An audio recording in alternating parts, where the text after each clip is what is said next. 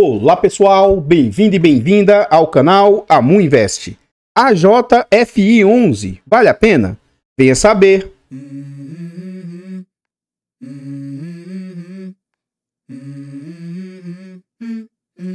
Let's go.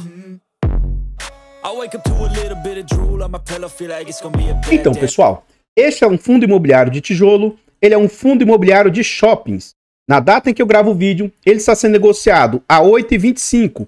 Esse é um fundo que ele é de base 10 reais. Ele entregou de dividendo nos últimos 12 meses 7,60% e ele atualmente está sendo negociado a um PVP de 0,68. O que, que isso significa? Que ele está com 32% de desconto. Ele está sendo negociado atualmente com liquidez mediana, na casa de quase 500 mil por dia em média, e ele vem de uma variação negativa de 11,67% nos últimos 12 meses. É um fundo que vem sofrendo aí cada vez mais, a cada semana, a cada é, mês, ele vem caindo um pouco mais. Ó. No quesito de cotação, o que, que a gente observa? Lá no final de 2023, no mês 11 de 2023, esse fundo vem a mercado na base de 10 reais.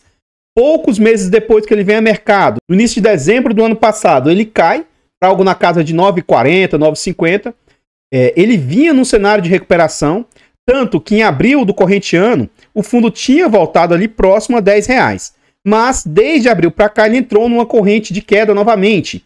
Lá em maio, mais ou menos, maio para junho, o fundo já estava bem próximo dos 9 reais. Ele rompeu isso em maio, caindo ali para próximo de 8 reais.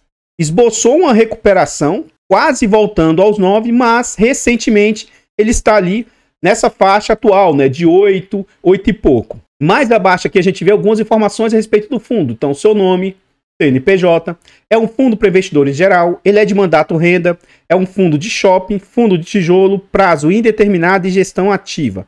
Em relação à taxa, nós vamos deixar para ver lá dentro do relatório gerencial e também vamos ver a parte de vacância lá dentro do relatório gerencial. Esse fundo atualmente tem pouco mais de 13 mil cotistas e mais de 31 milhões de cotas emitidas. Ele vale atualmente 12,26. Como ele é um fundo de base 10 e está valendo 12, houve uma reavaliação recente dos imóveis do fundo, nos quais teve essa apreciação, né? Então ele teve esse salto nas suas avaliações. É um fundo que o valor patrimonial atualmente se encontra em 387 milhões e o último dividendo entregue pelo fundo Aqui está 7 centavos, mas é um pouco mais de 6 centavos, tá? É 0.068, isso aqui a gente vai ver mais abaixo com detalhes. Continuando no site, a gente vê o dividend yield médio do fundo. Então esse é um fundo que ainda não tem 12 meses de existência, mas já vem com dividendo médio de 7.6%, que eu considero ser um dividendo bem interessante. Esse fundo começou a entregar um dividendo alto, 0,72, 0,83, e à medida que a cota cai, né, o dividendo meio que dá essas oscilações nominalmente dizendo, ó, ele chegou a entregar ali 7, 8, 7, 6, e agora o último dividendo entregue pelo fundo foi 6 centavos 8. Ó. O fundo anunciou no dia 7 de agosto e vai pagar no dia 21 de agosto essa quantia. Como esse vídeo é gravado com antecedência, quando ele for ao ar, esse pagamento já vai ter sido realizado. Continuando no site, a gente vê a rentabilidade do fundo. Então, esse é um fundo que sequer tem dois anos de existência. Então a rentabilidade dele é um pouco de. Fica injusto, né? A gente comparar, mas ainda assim, desde que ele veio a mercado, ele está com a rentabilidade negativa de menos 10%. Por quê? Mesmo com o dividendo que ele entregou, como a sua cotação está depreciada, né? Então, é, significa que ele está aí com a rentabilidade negativa. Então, pessoal, antes a gente continuar vendo mais a respeito desse fundo imobiliário, eu trago para vocês formas de apoio financeiro ao canal. Se você gosta do nosso trabalho e quiser nos apoiar, Considere fazer uma doação para o Pix, amuinvest.gmail.com. Qualquer doação é muito bem-vinda. Outra forma de apoio financeiro, torne-se membro aqui dos nossos canais. O nosso clube de membros é a partir de 10 centavos por dia, R$ 2,99 por mês. É um valor barato, irrisório, acessível, mas que para o canal faz muita diferença. Tornando-se membro, além de nos ajudar, você vai ter acesso antecipado a vídeos. Lembrando que esse vídeo é gravado com duas semanas de antecedência. Você tem preferência quando pede um vídeo participa do grupo do Telegram e tem desconto na nossa planilha de controle financeiro. A nossa planilha é um ótimo produto, versátil, com muitas funcionalidades. Adquirindo a planilha, ela vai te, vai te ajudar a organizar os seus ativos, vai te ajudar na sua declaração de imposto de renda e até no poder decisório de qual ativo comprar, né? Então, adquira porque é um ótimo produto. Além do mais, adquirir a planilha é uma forma de nos apoiar financeiramente. Por fim, nós contamos ainda com e-books de introdução aos fundos imobiliários, introdução aos fiagros, são e-books de ótima qualidade, baratos, acessíveis, com conteúdo muito agregador. Adquira, desde já. Muito obrigado a todos vocês aí que nos apoiam. Então aqui a gente está dentro do relatório gerencial mais recente do fundo, né? E o que, que a gestão traz de informação? Isso aqui são seis shoppings que ele possui participação, são shoppings bem bonitos, né? E todos ficam lá no sul, na região sul do país. E eles podem investir, isso aqui que vocês têm que estar atento, para depois, quando você estiver participando do fundo ou não, você não falar, ah, não sabia de tal informação. É logo no início do fundo e o fundo vem dizer como é que funciona. Então o fundo tem por objetivo investir por meio da exploração comercial e imobiliária o seu patrimônio líquido em imóveis do tipo shopping, construídos ou em fase de construção ou de expansão. Agora olha aqui, ó, entre aspas, o conflito de interesse, tá? Desde que no todo ou em parte sejam detidos, desenvolvidos, geridos ou administrados direto ou indiretamente pela Almeida Júnior ou qualquer sociedade integrante do conglomerado econômico. Então, esse AJ aí é de Almeida Júnior, AJFI. É um fundo que eles criaram para vender os, os, os, os, shoppings para eles mesmos. Então, não fiquem surpresos. Se toda compra que vier, vai advir por meio dos shoppings deles aí. Então, atualmente o fundo tem um patrimônio de 395 milhões, a taxa cobrada de administração é 0,10, gestão 0,60, e eles buscam tentar bater o IFIX. Continuando aqui dentro do relatório, tem o um índice e na próxima página que eles vão falar sobre o comentário de gestão. O relatório de junho está sendo enviado logo na sequência do de maio. E outra coisa, é praticamente a mesma coisa, tá? Para seguirmos o mesmo padrão adotado pelos demais fundos da gestora. Até então, o relatório da JFI vinha sendo divulgado com delay em relação aos demais relatórios, para que pudéssemos antecipar as informações financeiras e operacionais dos shoppings. Para deixar claro, os shoppings apuram o resultado do mês anterior no início do segundo mês subsequente. Por exemplo, o resultado de junho será apurado apenas no início de agosto, pois os lojistas pagam os aluguéis de junho ao longo de julho. Com isso, recebemos as informações de junho somente no início de agosto, o que ocasiona um atraso devido ao envio do relatório. E aí, como é que eles vão fazer a partir de agora? Para evitar que o relatório de junho seja enviado em agosto, decidimos enviar o relatório de junho no mês de julho, mas com as informações de shoppings referente ao mês de maio. Isso aqui é normal, esse delayzinho nas informações. Diante disso, nesse relatório estamos repetindo os indicadores operacionais e financeiros do último relatório. De qualquer forma, sugerimos a leitura do relatório anterior. Aí aqui houve uma falha, geralmente a gente põe a culpa no estagiário, né? Ó, colocar hiperlink. Por quê? Aqui você clicaria e você seria direcionado para o relatório anterior, tá? Mas eles erraram nisso aí. Pois contém diversos comentários sobre o desempenho do portfólio, etc. O fundo distribuiu no semestre 43 centavos, o que dá um DI anualizado de 8,83 em relação à cota de 10 reais. Agora, quem compra o fundo descontado hoje, esse dividendo aí daria um yield de 10,88. Continuando no relatório aqui, agora a gente vê informações aqui sobre a projeção deles, né? Eles projetavam que para o primeiro ano eles iriam atingir 8,69, 8,40, né? E já atingiram 8,69 na projeção deles, eles projetam que cada vez mais vão ter um dividendo melhor, tá? Ó, 8,89, 9,49, 10,23, 11,04. Estranho essa alta, né? Vamos ver se o fundo vai conseguir atingir esses percentuais que ele, que ele, que ele espera aí. Aqui eles falam em relação ao resultado, mas isso aqui a gente vai deixar para ver um pouquinho mais para frente. Ele mostra o quanto o fundo negociou. Por fim, temos sido questionados sobre o aumento das despesas do fundo. Isso aqui é interessante também para saber, ó. Almeida Júnior não estava nos cobrando as comissões dos corretores, pois estávamos discutindo com o administrador do fundo se tais despesas poderiam ser consideradas investimentos ou se poderiam ser cobradas conforme o prazo do contrato. De forma tornar a situação mais clara, ó, para cada loja locada é gerada uma comissão para o time comercial responsável pela locação. Essas despesas são pagas à vista, mas refere-se a um contrato de 3, 4 ou 5 anos na maioria dos casos. Dito isso, não faz muito sentido reconhecermos essas despesas de uma única vez. Inclusive, é prática dos, dos, das companhias de capital aberto reconhecer esse pagamento ao longo do contrato. Como não chegamos a um consenso com o administrador, a empresa nos cobrou tais despesas de, de forma retroativa, impactando o resultado do mês de abril. Então, nos outros meses, tende a cobrar muito menos aí de taxas, tá? A partir de então, eles têm nos cobrado essas despesas mensalmente, que tem girado em torno de 70 mil mensais. Para o segundo semestre, receberemos o resultado líquido dessas despesas, então a linha de despesas voltará a ter somente despesas relacionadas ao fundo, mas não mais as operações do shopping. Com a renda garantida pelos próximos 12 meses, essas despesas serão incluídas nessa linha, garantindo assim um rendimento mínimo ao investidor. Continuando aqui, ele fala sobre a performance, a DRE, né?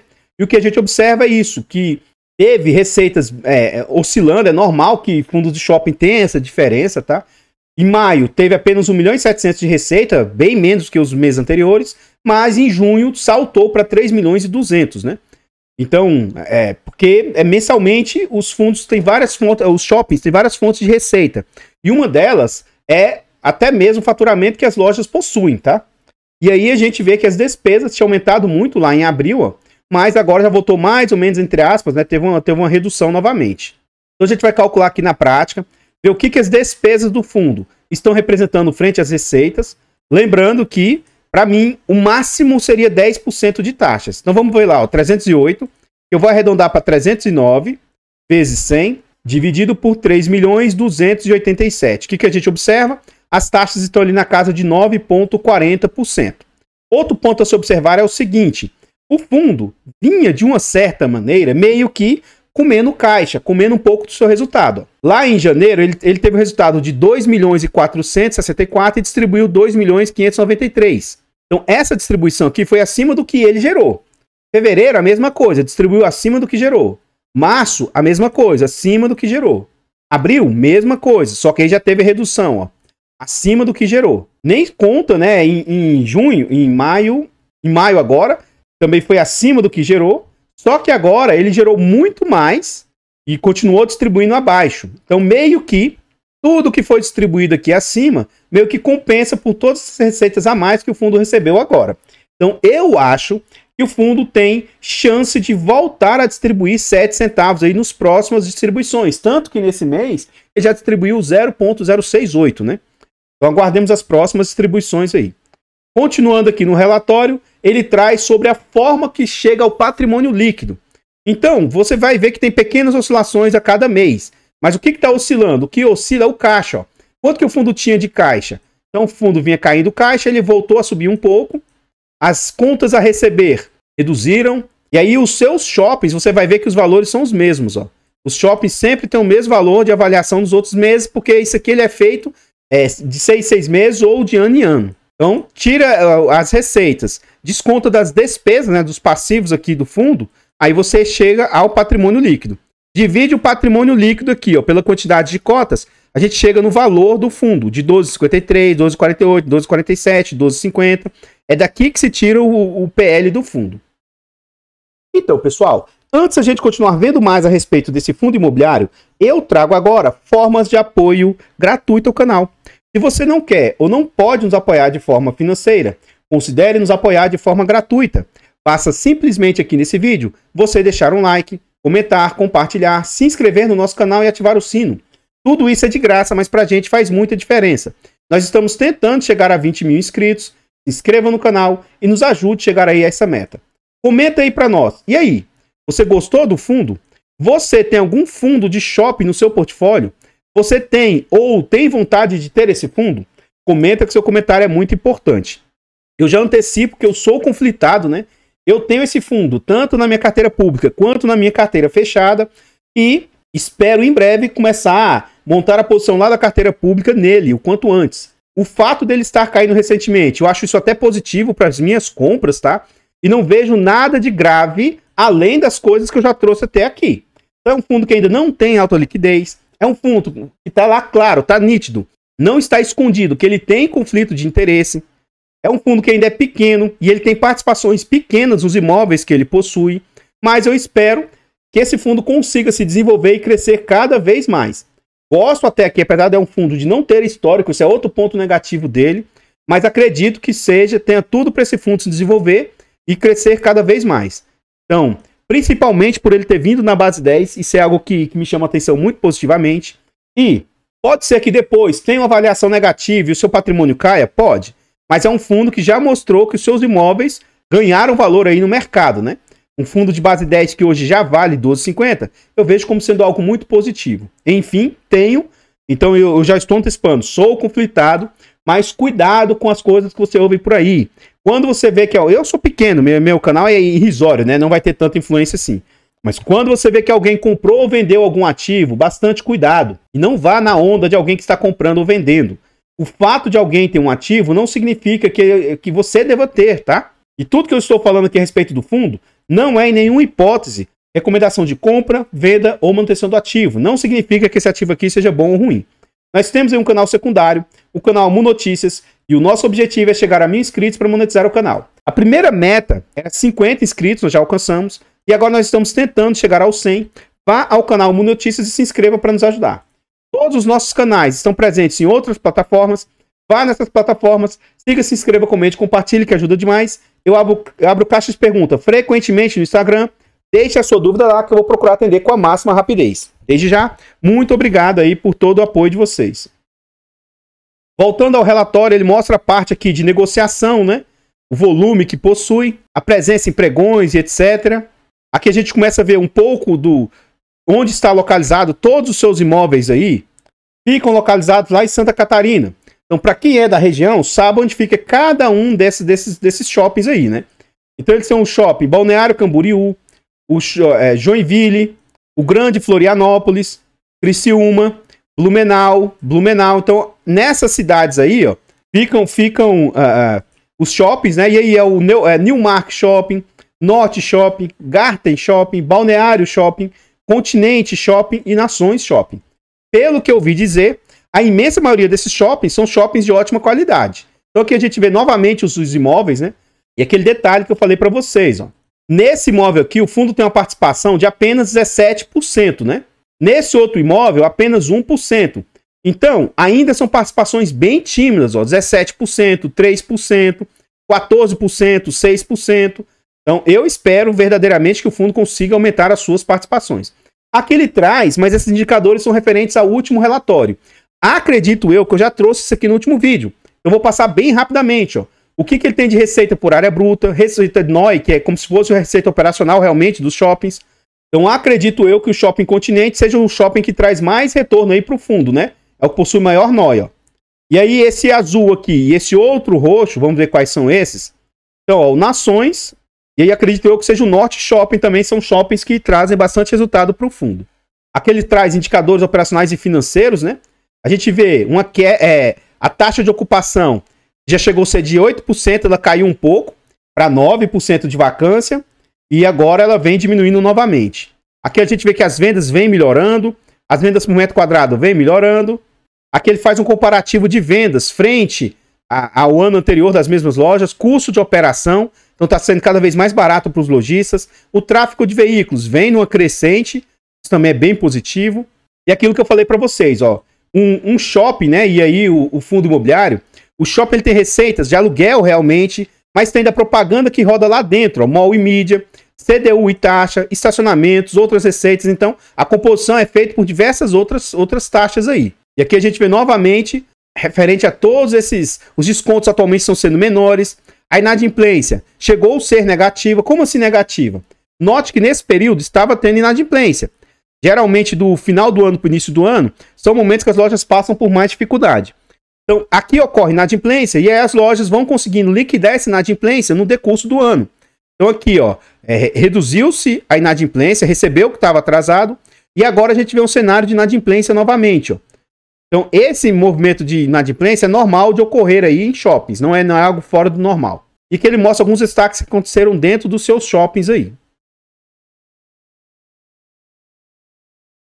Então, pessoal, o que eu tinha para trazer a respeito deste fundo imobiliário são somente essas informações. Eu gostaria de agradecer imensamente todos vocês que nos apoiam, seja de forma gratuita, seja de forma financeira. Considere ir lá no canal Amu Notícias e se inscrever para nos ajudar. Desde já, muito obrigado. Eu vou ficando por aqui e eu espero encontrá-los nos próximos vídeos. Fiquem todos com Deus. Tenham um bom dia, uma boa tarde, uma boa noite e. Fui!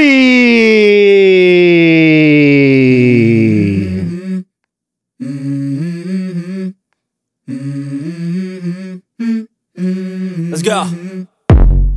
I wake up to a little bit of drool on my pillow, feel like it's gonna be a bad day. Yeah, I'm tired of shit, and the coffee ain't hit yet. Damn, ain't that great.